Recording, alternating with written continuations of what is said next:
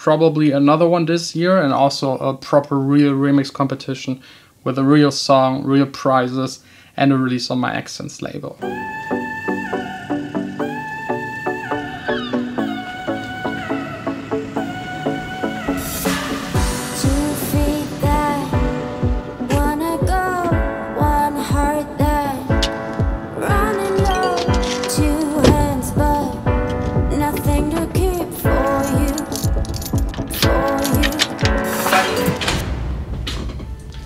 Welcome guys, welcome to the studio. I just absolutely, absolutely love this place. The best part about this place, that it's all mine and I've been working for now almost 15 years in the music industry and it took that long to make this place happen. And it's really just amazing having so much space, the nice view onto the water. Finally, a vocal recording booth that isn't done yet but I have a place to record vocals properly. And the same here with the studio, I now have a proper place that is acoustically treated to make music and to make music in a fast and efficient way. All of that is great, amazing, but there's just one catch, at least at the moment.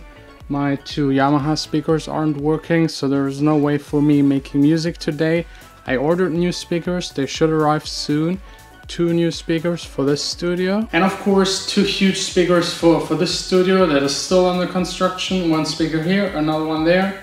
Huge, big speakers for this huge, big room. This will be a whole lot of fun, hopefully next week, but I don't know yet. I think they still have to construct that speaker because um, actually no one's so stupid and orders them.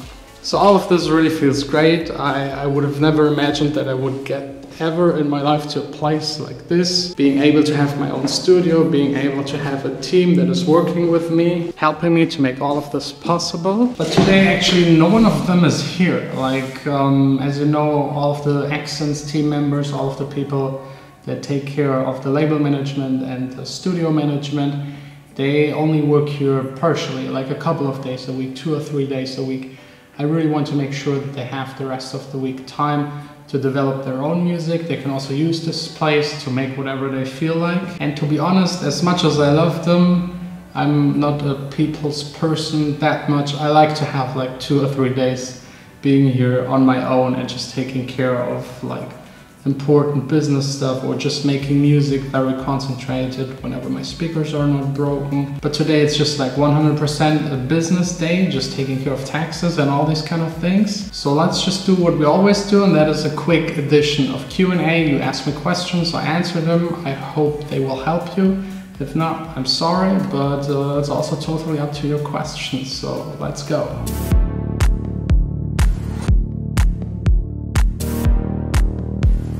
First up, a classic question. What do you think about producing on Beyerdynamics DT770? I would say go with speakers. Always go with speakers if you can. Um, headphones, headphones are just for the detailed stuff, maybe um, detecting a click or noise in vocals or in, in your song in general, and also making sure it sounds good with headphones. But I would suggest you to do 90% of the mixing with speakers in an acoustically treated room if that's possible. If not, then yeah, just go with headphones if you have no other option. Next up, what are the best beginner instrument VSTs? I would just go with the stuff that is for free. First, the stuff that comes with your DAW, it's amazing, like all of the Logic plugins, they are totally capable of doing everything you will ever need. And then there are a ton of free plugins, then also some companies have sometimes promotional phases where a plugin is for half of the price or totally for free. And then if you really want to buy something, I would go either with Diva if you're more into the classic synth sound, or just with Serum if you want to do more like dubstep, future bass, the more like electronic, newer kind of sounds. Can you do more of these bad songs competition was really good. Yes, there will be more, um, probably another one this year and also a proper real remix competition with a real song, real prizes and a release on my AXSENS label. Does a song necessarily need vocals for it being released on the AXSENS label? Yes, yes, it needs vocals. I'm only releasing vocal music. If I ever hear an instrumental that I absolutely love, I will help that person to find vocals and get vocals and then release it if the person is even interested in vocals, but so far no instrumentals. How can I win tickets to the World Club Dome? If you didn't know, I'm DJing at the World Club Dome. It's here in Düsseldorf in my hometown with, uh, I don't know, Don Diablo, Hardwell, Marshmello, Black Eyed Peas, Robin Schulz, and a bunch of other artists. Three days. I'm of course just on the smallest stage, but winning tickets for that event, I still don't know. I have to get in contact with the guy organizing everything. It's still three months in the future, so maybe in two months I will know more and hopefully get some tickets. I, I don't know, they're like 120 euros and, and up, so I'm not sure if I even get any. Next up, a person asking why the studio rental. I told you yesterday that you can rent this place for just 80 bucks. I think the studio, the bigger one here, might be maybe 100, 120. It, it really depends on the gear that I will put in here. But yeah, I try to keep it as cheap as possible. I've calculated what everyone else is doing in the city checked it and I came to the conclusion I can make it work for 80 to 100 euros per day. And yes, I know other people charge way more, they charge the same per hour, but um, I'm not really relying on that money. It's just like an extra because this place is way too big just for one person. I also honestly just want to help the community because I know how hard it was when I started, like having a proper place to mix and record vocals. It's almost impossible, so I hope I can help some new producers. So again, if you're interested, there will be the website down below for the entire Accent Studio. Just go check it out, get in touch with us, and as soon as everything is done, you can come here and check out the place for a day or two. Another tough one, someone asking about how to get gigs and that in his area there are no gigs with his kind of music and he's suggesting or he's asking if he should start his own events. Yes, that's one possibility, but be careful with it because um, like doing an event is a lot of money you have to invest, a lot of risk you have to take, and if you're the only person that likes that kind of style of music, you might end up in a club just by yourself and you still have to pay everything. So be really, really careful. It's maybe wise if you're a producer to just produce that kind of music and hope that one day it will pick up and be big enough and your song's big enough that people will book you internationally. But it's it's it's a long, long, long way really long way. What makes a melody catchy? Wow, that's actually that's actually like an entire vlog topic. In in short, I would say it needs to be repetitive enough, but not too repetitive that it gets boring. So somewhere in between for any musically trained person, heavily repetitive, and then still have like moments of surprise. Like maybe the same three or four um, notes and then you switch it up, go down or up and, and switch it up every four to eight bars just to keep it interesting over the entire time of the song. And the best way to, to test it is just to make a bunch of melodies and listen to them and then maybe not listen to them for two or three hours and just think of those. And the one that you can remind the best is usually the, the catchiest. Could you give some advice on writing big drops? Because drops are the only thing I really struggle with Drops are the most important, so just start with the drop. Especially at the beginning, try to get as far with it as possible for, before you arrange the entire song.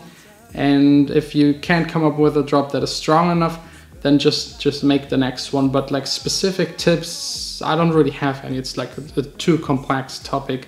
A drop consists of like 15 layers at least, and there are a whole lot of factors involved. Where's the best place to actually find singer and songwriters? That's also a tough one. I made an entire video about it, but basically reach out to people online, try and ask your friends, maybe someone in the city is singing, a songwriter, go to events, talk to people, go to concerts, talk to people, just, just be in touch with a bunch of people, be active online or in real life, it, it really doesn't matter. This way you will definitely find someone. And then when you got the first two or three songs with vocals out, you can try and get in contact with even better singer and songwriters and just work your way up. If you start out writing the best of the best and and you're frustrated they're not answering, it's just because you don't have anything to, to, to prove yourself. If they don't know you or you can't even show them any finished production so that they know what you're actually capable of, there's no way they will even answer your emails. That's just the way it works. When is the next remix competition? This year, definitely this year. It will start this year. I don't know which song. So I will think about it. My, as you know, my hard drive um, kind of disappeared, so I don't have all of my old songs available. Maybe another song of, of one of the other AXSENS artists or maybe hopefully this hard drive can be recovered. I will definitely know for sure tomorrow. Like the guy that is taking care of it, he's now copying the scanned and, and like processed files onto the hard drive. Last question for today. Do you know the Pop Academy in Mannheim? Yes, I know it. If you don't know, it's one of the best music schools, music business schools. And what's your opinion on going to such a music school? I never went to something like that. I teach everything myself. It's definitely the, the longer road to, to kind of making it in the music business. But I think it's also the road that makes sure that you stick to it and that you learn everything. And kind of going to school is the shortcut. And if you're like me and you don't like other people telling you how to do things, then maybe the school is not the right thing for you. If you don't have any clue and you don't know where to start, then maybe it's the right thing for you. It really depends on your person and, and what you actually want to do. For like a music producer, it's probably not the right thing. For music business, it might be one of the best schools, at least in Germany. So yeah, that's basically it for today. If you want to ask me any questions, down below in the description is my Instagram. In the stories, usually I ask you to ask me questions. So that's where all of this is happening. Maybe the next time your question will be in the video. I'm now trying to answer the rest of them, writing the people for like the next half hour. That's all the time I have left for today. I have like three more meetings here in the city, business stuff, tax stuff, lawyer stuff, a bunch of annoying and boring shit.